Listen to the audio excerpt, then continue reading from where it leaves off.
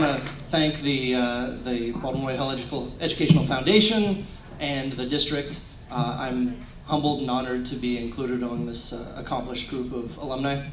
Um, I did not start out in the Baldwin Whitehall School District. I remember, in fact, my first day at Harrison Junior High School.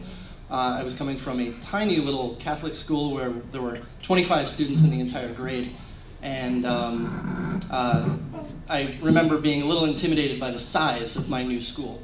But with that size came bigger educational opportunities, and I was determined to take advantage of as many of those as I could. Um, it turned out that in my career, the, the subjects that mattered most in the end were math and science, I do a lot of that, but also writing and, and English. Uh, you can't be a scientist and engineer if you can't communicate your ideas to other people. Your ideas don't end up having much impact. Uh, and Baldwin High School in particular had, uh, when I was there, three sequential English teachers who taught a particular method of writing that was um, focused, it really made you uh, put together your ideas in a logical argument. It was really helpful.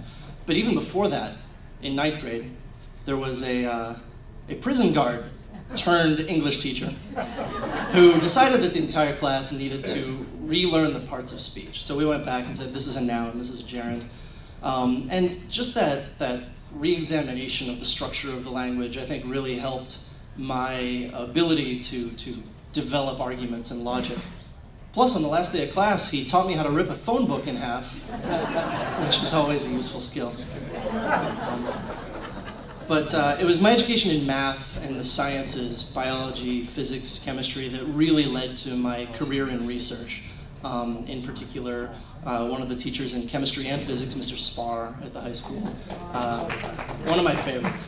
Um, he, uh, he loved giving very hard problems, but also asking very probing questions. Uh, and I think that really helped push me uh, academically in, in these fields. Um, I'm currently working on a, a, retinal prosthesis to restore sight to the blind, and I think that um, my foundation in the math and sciences at Baldwin really kind of helped lead to that.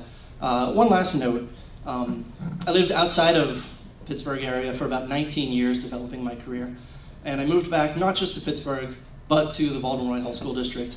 And uh, my wife Gwen and I have a, uh, a one-year-old daughter who in not too many years will be attending these schools, and I know she's going to get a great education.